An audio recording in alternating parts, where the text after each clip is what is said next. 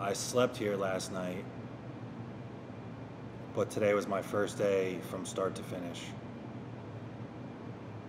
Um, so last night I got like the worst night of sleep, um, some of the worst sleep that I've had in a long time, and it's always been an issue for me. Um, I have episodes of night terrors, and sleep specialist told me that when I'm having these um, these night terrors, I go through like small seizure episodes. So um, that's always been a, an issue for me. But just recently, and uh, I made a, a serious effort during this prep to get into a good sleep pattern and maintain it and make sleep a priority and it's been working and then last night was was brutal.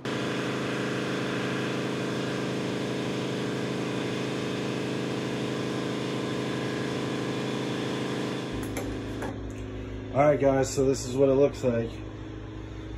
I got some clothes i got a heater a mattress pillows blankets pretty much everything i would need. Um, this is our locker room bathroom. Pretty nice little shower action there. All right so what we got going on.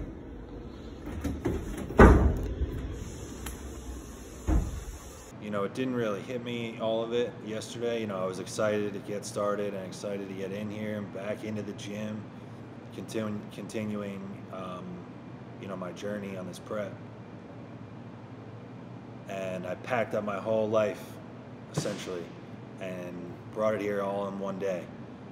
And all of you have moved or helped someone move. It's an exhausting day. And then, so I moved in, trained, couldn't sleep, um, like I was just wired. I mean, I'm I'm working, and we have plenty going on, so I feel like during the weekdays it'll be no issue. Like I, I stay plenty busy, and then I get to train and and do my cardio and all that. I can eat whenever I want, of course.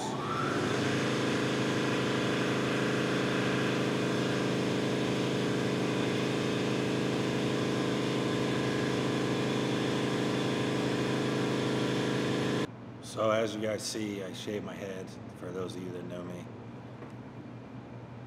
And I had a bunch of people reach out to me on Instagram concerned, like, you already losing it? You shave your head?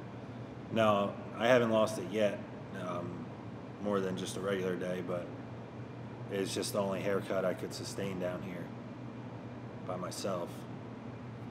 So that's the story on that. But it's funny how many people you know, we got a great response to everything, and I really appreciate everybody that, that personally reached out. I was I was surprised, even just by by the people that I know um, that cared to reach out and say good luck or that they think that this is badass, which is cool. I appreciate it, but a couple people reached out and they were like, "This is so weird that you would do this," or you know, some guys some people were bitter, I think, because I get to use the gym.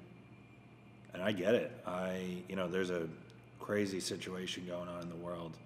There's a million more important things for everyone to be concerned with than lifting weights. To me, it's it's just that fire inside me is lit only by this.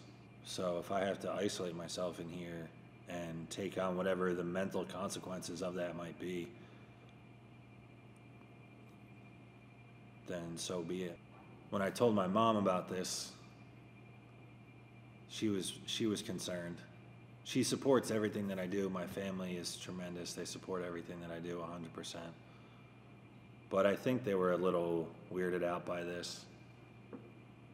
Even knowing me, I think they were a little weirded out by this and um, a couple of my friends, you know, that maybe don't bodybuild or lift weights, they thought it was pretty weird too. it's funny, I heard this quote the other day.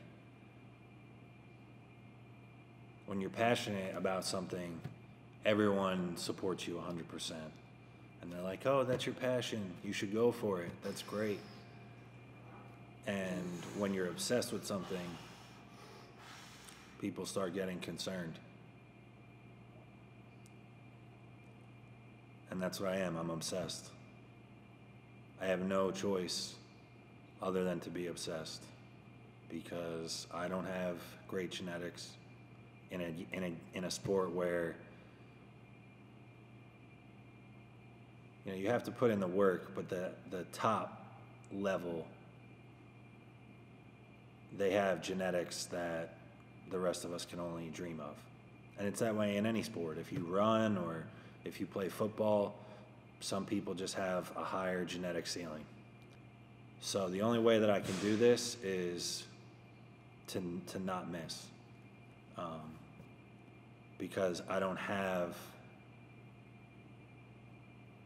you know the same the same deck of cards that everybody has. And I'm not complaining and you'll never hear me complain about my genetics or anything like that because they are what they are. I can control only what I do and my effort and in my consistency. So I control those. But I have to be like this. If I wanted to be really, really good at something, if if you know, I have goals that people would laugh in my face about in bodybuilding. And maybe I'm nuts, who knows? We'll see. I believe them. I don't know if anyone else would, but I have to, I can't afford to be rational.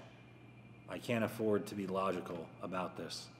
You throw me down here, and we'll see. It's going to be quite an experiment, I think.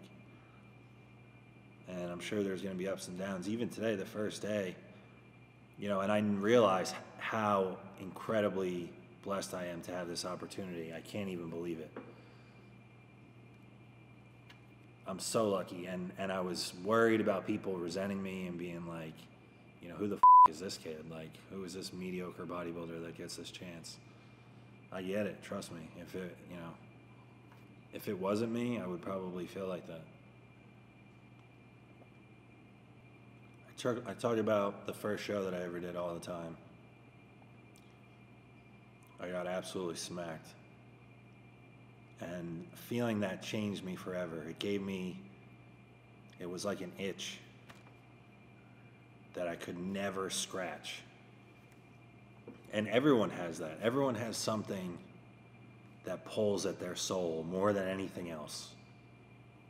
And for anyone that's hearing this, not even bodybuilding, it doesn't even have to be lifting weights.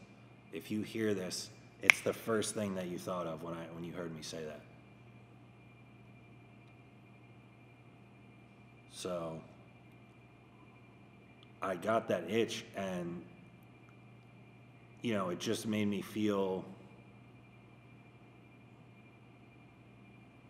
like I didn't belong. That was that was the worst feeling, the worst part of it all is thinking that you belong, going into it thinking, yeah, I'm a bodybuilder.